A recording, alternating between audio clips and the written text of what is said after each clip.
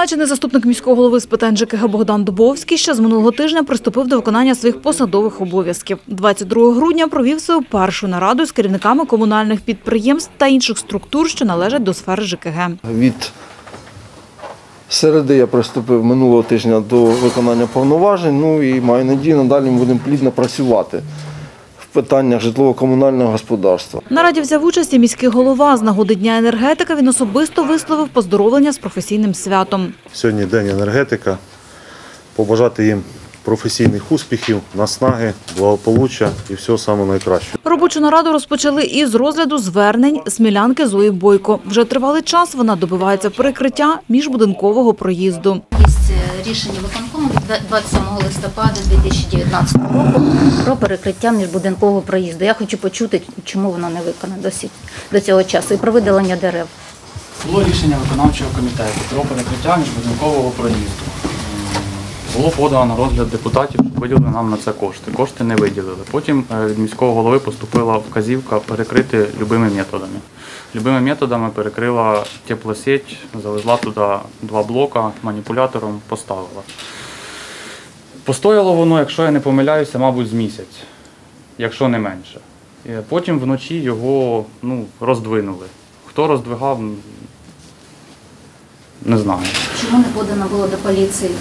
Ну, до поліції ми подамо що? ж. ми просто привезли за безкоштовно, поставили ті блоки. А чому ви за безкоштовно поставили блоки? Чому немає акту виконаних робіт? Ну, Я ж повторюю, тому що на це гроші під цю витрату нам не виділили. У ході розмови з'ясувалося, що є людина, що бажає власним коштом виконати ці роботи.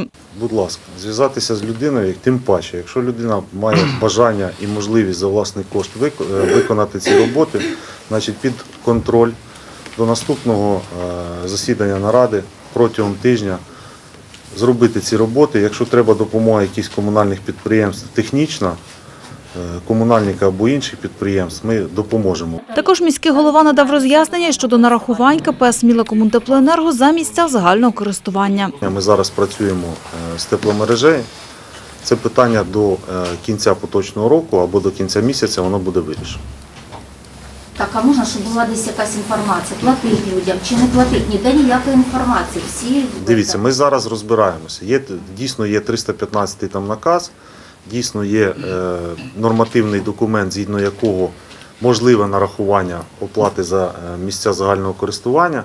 Ми зараз до кінця поточного року обов'язково вирішимо це питання і доведемо всіх споживачів через засоби масової інформації з приводу цього питання. Певні зміни відбуваються у правилах гри на ринку електроенергії. Стосуються вони бюджетної сфери міста, наголосив представник Смілянської філії Черкасиобленерго. Усі бюджетні організації на сьогоднішній момент, е, я думаю, від своїх постачальників отримали повідомлення про те, що із 2021 року вони втрачають можливість використовувати електропослугу за універсальною послугою. Вони повинні будуть знайти собі поставщиків за вільними цінами. Провести тендерні переговорні процедури. Ну, я думаю, в цьому році, щоб уже з 1 січня вони вступили в силу. Наразі, якщо вони дані процедури не проведуть, не оберуть собі постачальника в цьому році на наступний рік, е, з 29 грудня ми їх всіх автоматично е, відносимо до сфери в тому, що вони переходять на постачальника останньої надії із 1 січня 2021 року.